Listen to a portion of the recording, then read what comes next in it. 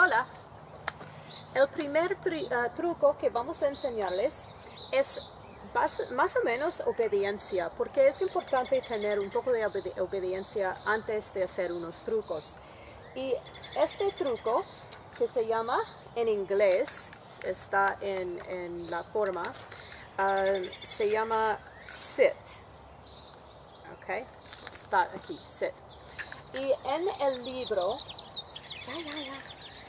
Ah, 101 trucos caninos, se consigue el truco sit aquí en la en página 15.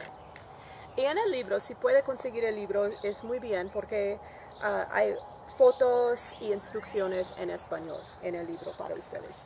Pero yo enseño los trucos con ah, galletas y un, un clic. ¿ok? Un clic, un juguete. Es un juguete que, hace un, un ruido. Es un ruido muy especial ah, para el perro. Y así se hace. Hace el clic, da una galleta. Hace el clic, da una galleta. Haz clic, da galleta. Haz clic, da galleta. Y en muy, muy poco tiempo, el perro aprende cuando oye el clic, quiere decir ganó una galleta. Y así el perro piensa, ¿cómo hago para hacer el clic?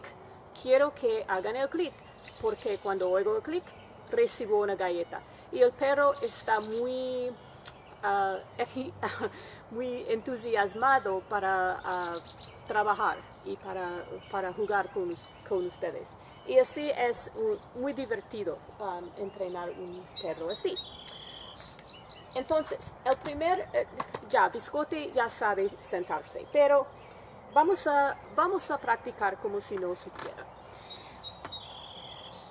So, primero, tomo una galleta en la mano delante de la nariz y subo la galleta y cuando el perro se siente hago el clic y doy la galleta.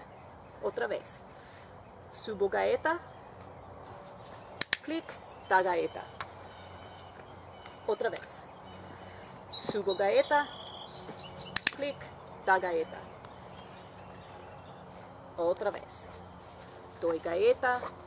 El perro siente. Clic doy galleta. Es tan fácil, es muy fácil.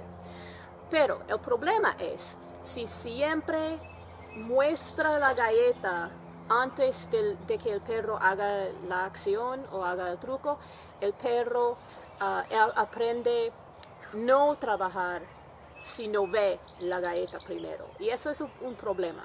Entonces necesitamos hacer eso. Mano, nada, ¿ok? Mano, mano vacía. Y así, hola, oh, pájaro, venga, ok. Y hagamos esta emoción. Clic y luego doy galleta. La galleta no aparece hasta que ella haga la moción. Señal, clic, galleta. Ok. Señal, galleta. Así. La galleta está escondida hasta que haga. Ok.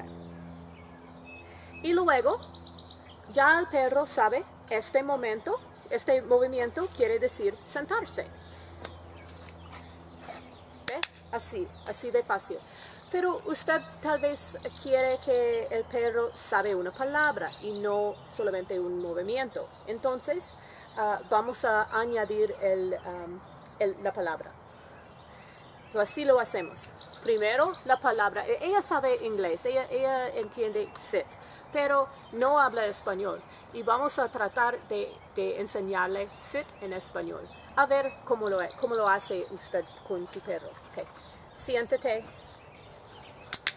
Palabra, señal que ya sabe, clic y da galleta. Es, es un orden, ok, es el orden. La palabra es nueva y la palabra viene primero, ok. Siéntese. Ah, ya sabe. Los perros se aprenden muy rápidamente cuando usamos un, sistema, ¿no? Venga, toca. Good. Touch. Good. Stand up. You stand up. Stand up. There you go. Right there. Good. Siéntate. Siéntate. Ya. Ok. Ella no habla español.